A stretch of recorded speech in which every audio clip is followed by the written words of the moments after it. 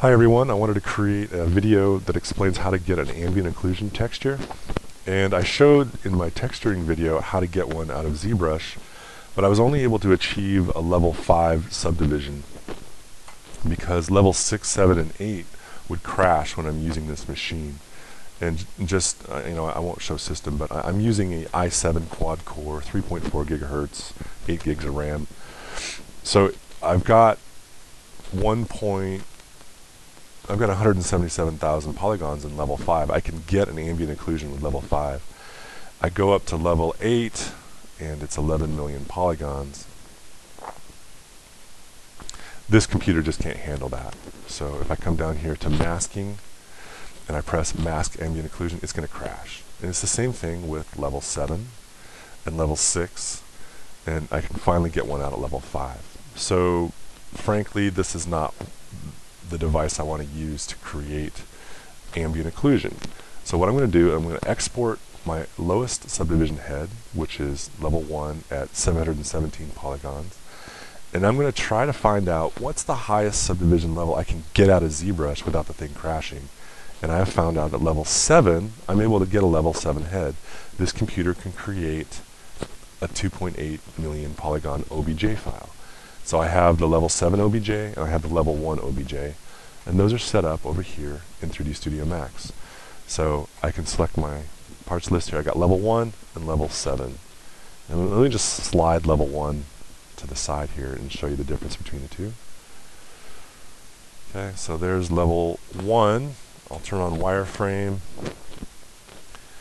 go to sub-object mode, and press Control A, and that tells me I got 717 polygons.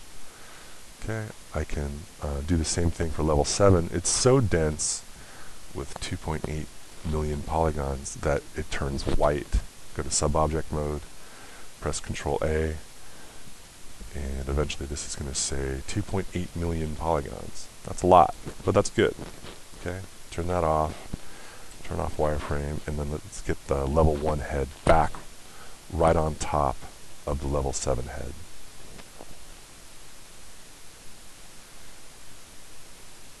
There it is. Okay, so this ambient occlusion projection technique is done through render to texture. The hotkey is 0, or come up here to rendering and go render to texture. You can see it says 0 right there. I'm going to walk through all the settings that you need in this window to make this happen. And, but first and foremost, you got to make sure that the level 1 head is selected, otherwise nothing's going to be populated in this window. So I'm going to come up here, go level 1 head, select, and then you can see it shows up here in this window. Up here in the output, that tells you where you're going to save these files to, and I've just told it to go to my my ambient occlusion pass folder. Okay. Make sure that your level 1 head is selected here. Um, your padding, that's the number of pixels around your UV shells that this ambient occlusion is going to render to. You got to make sure that you have UVs on your level 1 head, otherwise this won't work. Okay, we are doing a projection mapping technique, so we got to turn that on. And this sub-object level turns on by default, but we don't want that. We want to turn sub-object off. And now we press pick and we choose the level 7 head because that's where the software is getting its information for this ambient occlusion. And you can see it puts a projection modifier on the level 1 and this level 7 head is loading right here. And in a few seconds, you're going to see a, a blue cage around the level 1 head. Okay, so here's that cage. It isn't anything we can use right now. We have to come over here in our rollout, and if you only have one column of tools, you'll have to scroll down. I'm going to get both columns out here. And down here, you want to press the reset button. That snaps that cage to the surface of the level 1 head, and then you slide the amount up here and push up to adjust the size of that cage. And I know from, I'll just press reset again. I know from experience that 0.01 gets me in the ballpark, but I need a little bit less than that. So I'm going to hit reset again, and I'm going to type in 0.007 and that gets this cage just far enough off the surface of level 1 to allow me to do a projection between level 1 and level 7 and have no uh, interpenetration between the two the two models. Okay, so that's how you set up the, the cage there. Let's proceed down our settings here. Mapping coordinates. If you use the automatic unwrap, this is what it defaults to.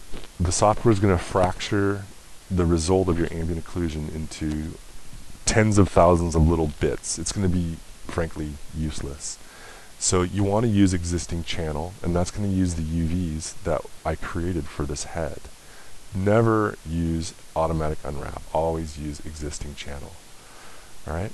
Next up is we need to tell what our output's going to be. And so I press this add button. We don't have ambient occlusion in this list. And the reason why is because we're using the wrong renderer right now. I have to go over here to my render setup or press F10, which is the hotkey for that. And in the common tab at the very bottom, is the assign renderer rollout.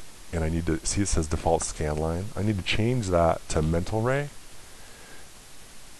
And that's good. Close that. Now when I press add, you're going to see ambient occlusion, mental ray, as our, our selection here. That's what we want. I'm going to add that. It comes out to 256. We need to change that to 2048 by pressing the preset buttons here. And then um, we're ready to go. Okay, this target map slot here is deliberately set as nothing. I didn't choose any of these because I, I don't want to create a shell material. I want it to be blank. So I'm going to deliberately choose this to be blank. And right here is, is the name for our output. I'm click on these this three dots here and this allows me to set up the file format. It defaults to a TGA. And here's the name. We'll call this take two because I've already done one up here. Save, TGA information, um, and then we've got this set. This is the background color. Now down here, this is this is kind of the meat and potatoes of the render to texture. These samples represent rays, rays of light coming in. Um, think of a sphere around your model here, and the inside surface of the sphere has 16 points of light all coming in and bouncing off this. If I change this to 32, that's different, 32 rays of light, etc., etc. So you really, really in drastically increase your processing time for this ambient occlusion the more rays you have, the more samples you have. Okay, uh, if I open up the help files, go to help,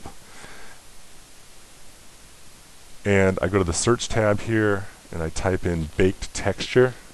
I hit search. The third one is baked texture elements, and I scroll down here, and this has a real nice visual indication of what the spread, the max distance, and the fall off will do for your settings. So this is a great explanation. Please go here for more information about spread, max distance, and fall off. Okay. Lastly, if I open up the baked material, it defaults to save source. This creates a shell which is creating um, a material. I don't want that. I'm going to output into source. Okay, so make sure you do that. And then underneath that is automatic mapping. Well, we don't want automatic mapping. Remember up here I had you use existing channel. So by virtue of clicking on existing channel, it's going to ignore all this stuff. So we're ready to go. I'm going to hit render and likely we get this error here, and this is because um, this target map slot was left blank. And I frequently just say, don't display this again and hit continue. And now this is where I go get a cup of coffee uh, because it's going to take quite a while with 32 rays. I'll stop the movie and then pick back up after it's done. Okay, so it finally stopped processing and it's finished. And you're probably looking at this render, render, render, render window wondering what happened, what this is not what I want. And it's true, you can't trust what you see in this window. This is simply, I don't know why they made this, but it's not what we want. So you can just close that, go to Photoshop, and open up you know, go open up where you told it to save your file, and, and you'll you'll recall that I, I told it to go to uh, ambient occlusion pass. Um, back here in Max, where you told it to save it up here in output is where that file is, and that's what you want to look at. Don't look at the ren render window because it's it's a mirage. Okay, so back here on the right is this projection technique ambient occlusion. I've blown it up there. And this is the level 5 ambient occlusion that I got out of ZBrush. So this is the difference between um, 1 and 5 and this is the difference between 1 and 7 and and this is just with 32 rays. If you increase the rays to 50 you'll get a lot better result if you have a, a stronger computer and, and, more patience. So in my opinion this one the level 7 the level 1 projection is a higher quality ambient occlusion. And I think it's going to give me better results than frankly this mess. Okay I hope that was helpful. Keep watching. Thank you very much